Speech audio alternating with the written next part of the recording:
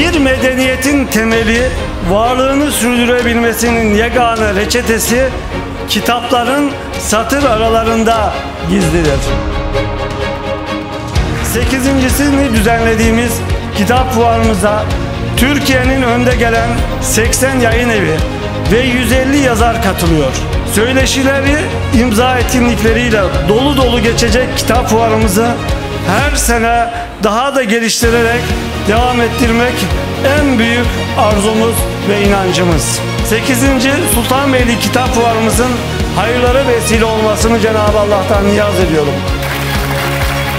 Sayın Ali Tombaş Başkanımızı kutluyorum. 8. Kitap Fuarı'nı düzenliyor. Geçen yılda buradaydık. Kültüre önemli bir hizmet yapıyor. Ben de 8. Kitap Fuarı'nda sizlerle bir arada olmanın mutluluğunu yaşıyorum. Ben Sultanbeyli'yi çok yakından takip eden bir kardeşinizim. Bir nebze de olsa Sultanbeyli'nin kültüründe, kültür hayatına emeği olan bir kardeşinizim. Sultanbeyli'nin bu güzide günlerinden biri olan 8.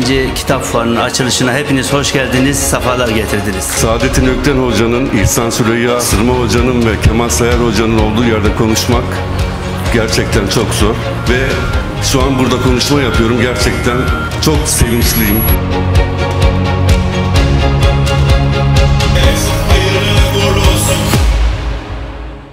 İnsan nasıl var olur?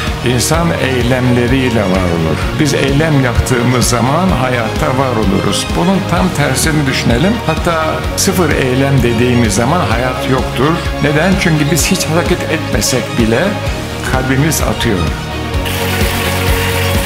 Hayatta bize bir şey öğreten bir durum varsa o da hayatta yaşadığımız zorluklardır, kayıplardır, incinmelerdir. İncinmeyen insan yoktur. Ama yola devam edenler daha güçlü bir şekilde devam eder.